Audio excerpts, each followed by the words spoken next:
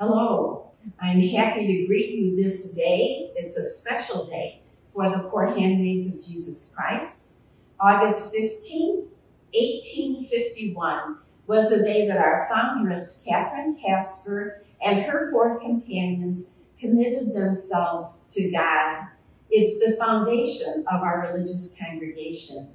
And so we're happy that you have joined us in prayer for this day. Today, the theme of our prayer is water. We celebrate the waters of our baptism where our commitment to our God begins. But we also celebrate the water of the Spirit that has been our strength and our grace through our whole life, and particularly our life as religious sisters. So we ask you join with us in thanksgiving, in prayer, in the intention of seeing water as a great unifier even of our planet.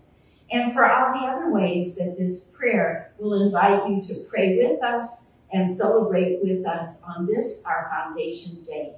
Thank you.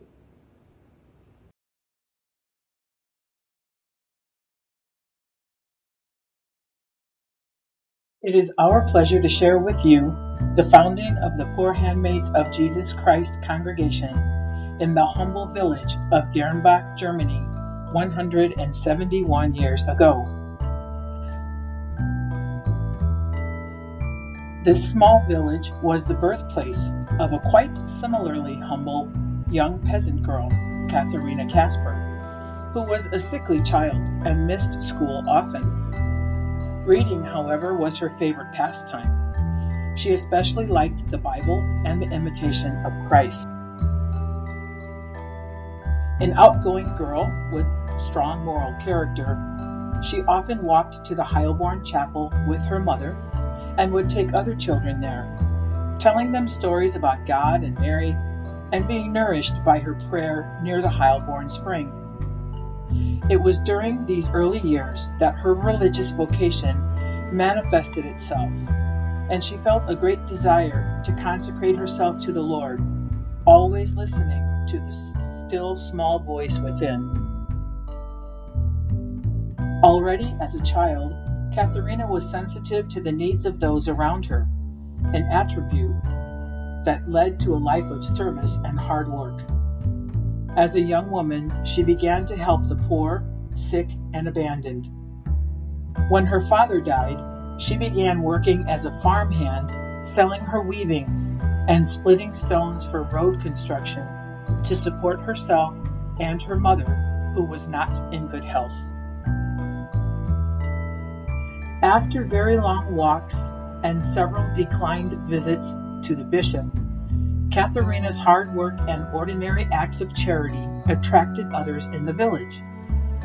With the encouragement of her spiritual director, Katharina and four other women formed a pious society that served the poor and needy in the village. With about $1.50 in her pocket, and the ability to build strong relationships with people, she was able to build her first little house. Soon after, the bishop heard of her work and allowed her to begin the religious congregation, the Poor Handmaids of Jesus Christ. These first five sisters pronounced public vows of poverty, chastity, and obedience on August 15, 1851, to Bishop Peter Joseph Blum of Limburg and began ministering to those most in need. Although the sisters are most known for their work with the poor, the sick, and children, they are often recognized more by the love and simplicity with which they serve than by any particular ministry.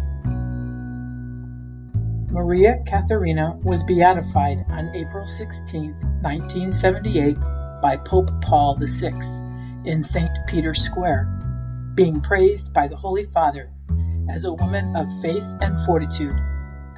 Pope Francis later canonized St. Katharina Kasper on October 14, 2018. We celebrate today St. Katharina's fortitude, perseverance, and faithfulness to the call of the Spirit in founding this congregation which has had more than 8,000 members in these 171 years. Throughout her life, Katharina tried with all her strength to recognize and that spirit has been passed on to the sisters of her congregation.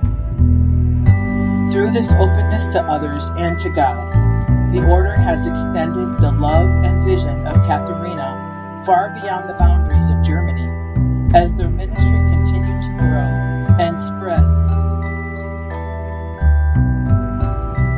to the Netherlands, the United States, England, Mexico, India, Brazil, Kenya, and Nigeria. Saint Katharina reminds us Take courage and in all humility, with great trust in God, face the future calmly.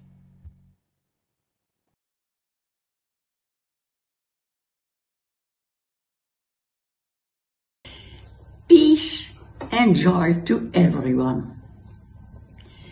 I am happy to tell about the beginning of our congregation in the Netherlands.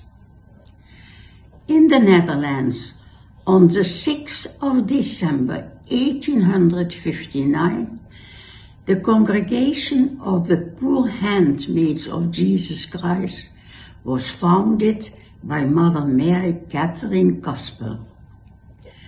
There were many poor families in Amstenrade. No industry, no factories, no coal mines, no medical care, no jobs available. Countess Elvira de Marchand et d'Ansembourg, who lived in Germany, often visited her relatives in Amstrade and she saw many poor and suffering people in the village.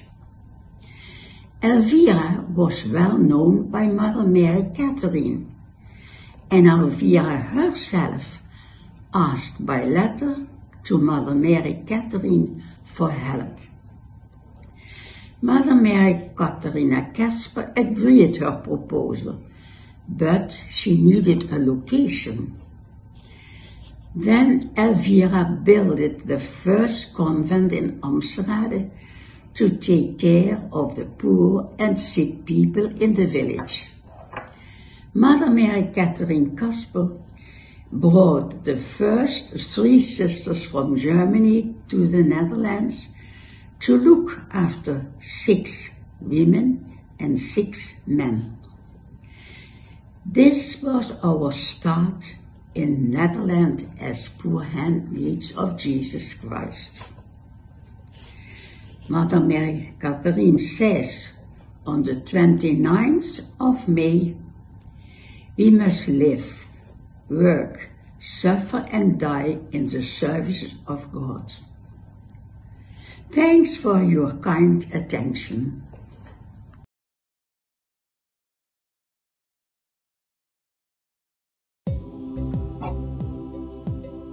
We gratefully share with you the founding of the Poor Handmaids of Jesus Christ in the United States.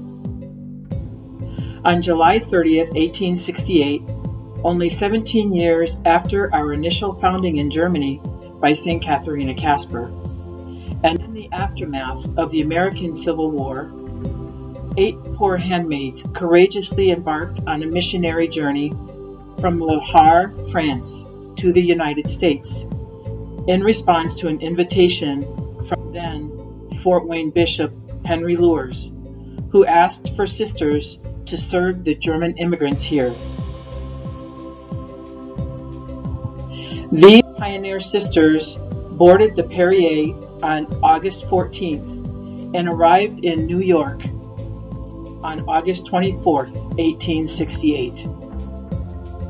They then traveled by train and horse and buggy to Hessen Cassel, Indiana, arriving on August 28th. Within a few days, three sisters began nursing, and on September 10th, St. Joseph School opened. These determined women also took care of the needs of the parish church and its members. On November 10th of the same year, and at the request of the Vicar General of Chicago, Father Peter Fisher, three sisters took over Angel Guardian Orphanage on the north side of Chicago, caring for and providing Christian education to hundreds of children left orphaned by the war. On May 4, 1869, the sisters opened the doors of St. Joseph Hospital in Fort Wayne, Indiana, which also served as the community's mother house for 53 years.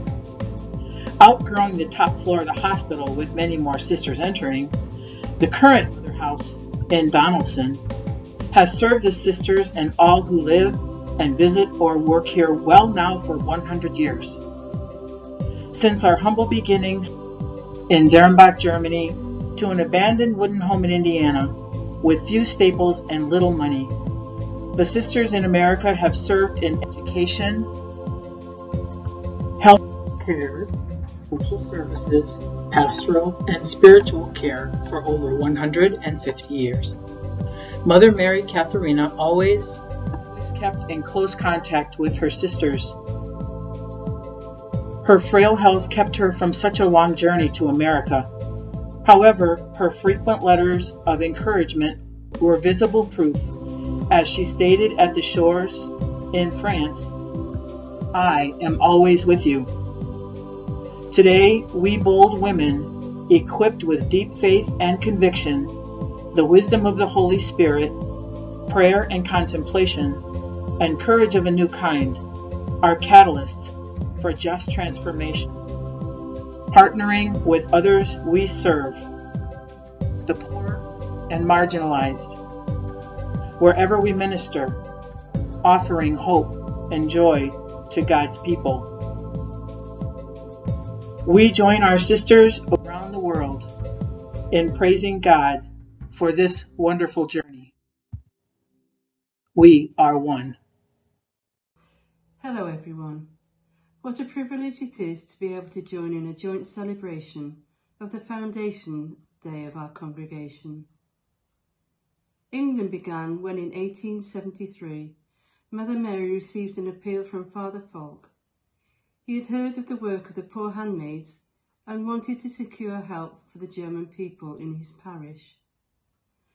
Mother Mary was unsure and hesitated until 1875 when Father Falk wrote again with an explicit plea from Cardinal Manning. Four sisters from Wiesbaden came and were soon ensconced in ministry to the German church in Whitechapel, visiting the sick in their homes and establishing a kindergarten which ran until 1939. Hendon, our longest serving community, started 138 years ago in 1882.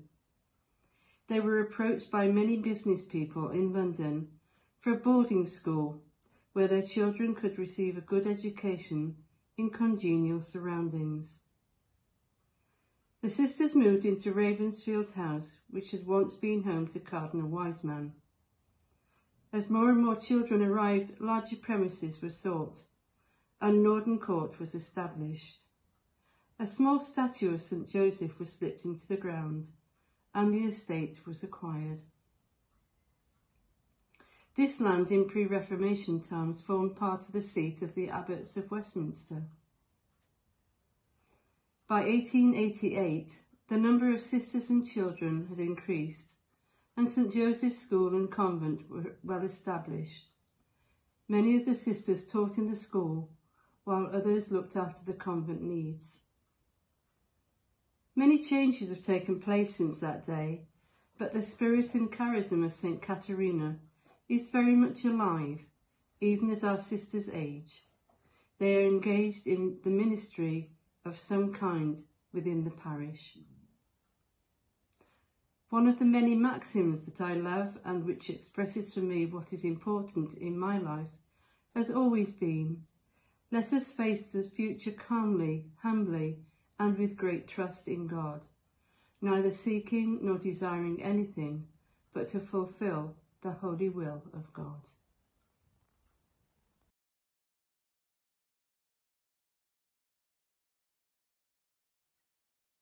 St. Joseph's Province came into existence on 12th September 2012. Sister Jolise May was the General Superior as the province took its birthing in the soil of Madhya Pradesh Indore Diocese at Dhar district. The founding moments were graced with a holy mass solemnized by Reverend Father Jolly John, the Vicar General of Indore Diocese, along with priests of the diocese.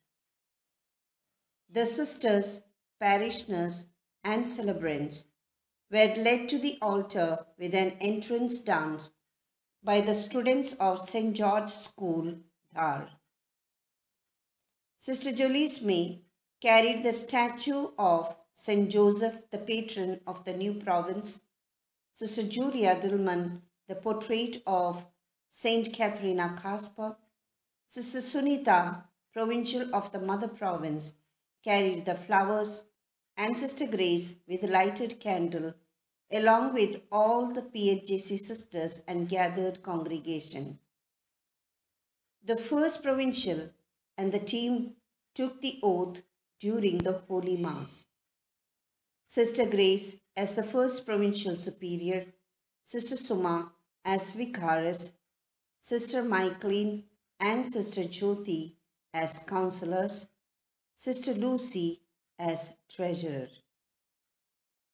The entire gathered congregation invoked blessing upon the newly erected province. The students of St. George performed dances and greeted the new province. Thus, the newly founded province was filled with blessings, gratitude, and joy. Saint Katharina Kasper says,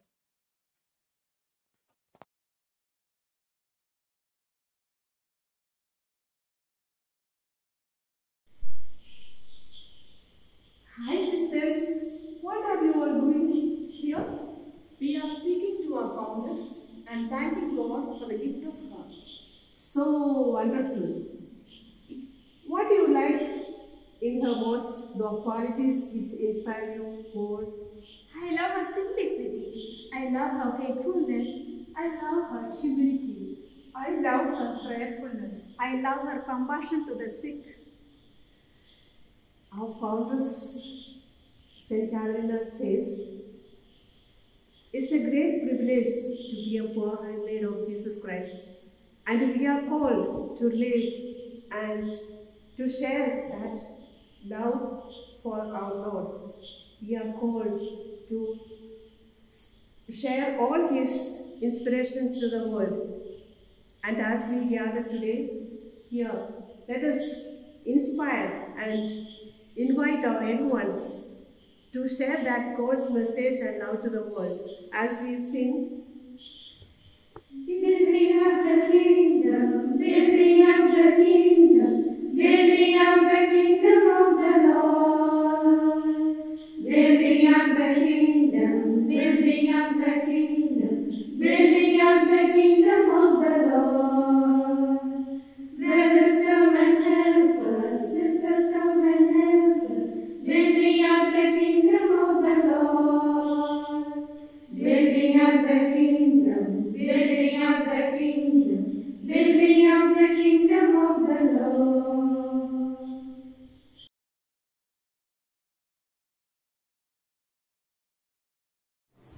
Los hermanos marianistas de la Compañía de María invitaron a las siervas pobres de Jesucristo a México para colaborar con ellos en la parroquia Sagrado Corazón de Jesús en Coatzacoalcos, Veracruz.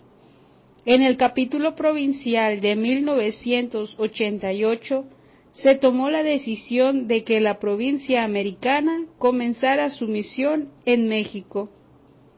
La misión se fundó el 28 de agosto de 1988, cuando la hermana Marilyn, como primera sierva pobre de Jesucristo, llegó a Coatzacoalcos. La inauguración de la prorregión fue el 6 de agosto del 2012. La Virgen de Guadalupe es la santa patrona para nuestra actual región. Catalina vivía el amor de Dios, cuidando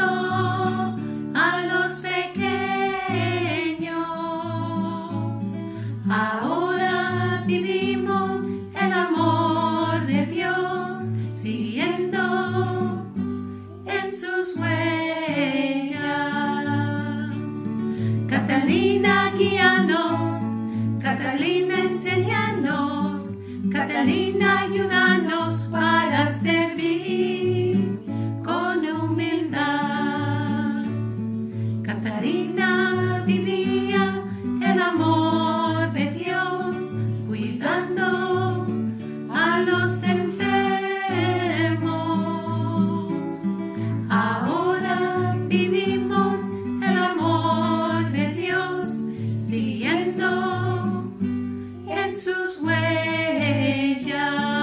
través de la humildad derrotamos al enemigo.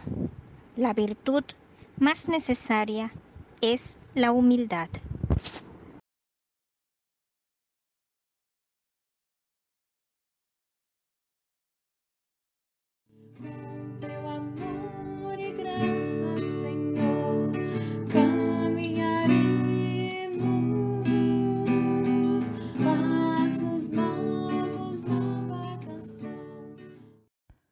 No capítulo geral de 1983, foi proposta a abertura de uma nova missão em outro país. Porém, nada foi feito sobre este assunto. Apenas depois, no capítulo geral de 1989, foi retomado com mais seriedade e ação direta. Um dos objetivos da nova missão era fundar um novo convento internacional, tendo irmãs de vários países vivendo e trabalhando juntas. Isso foi feito em 1993, quando a liderança geral decidiu abrir uma casa no Brasil.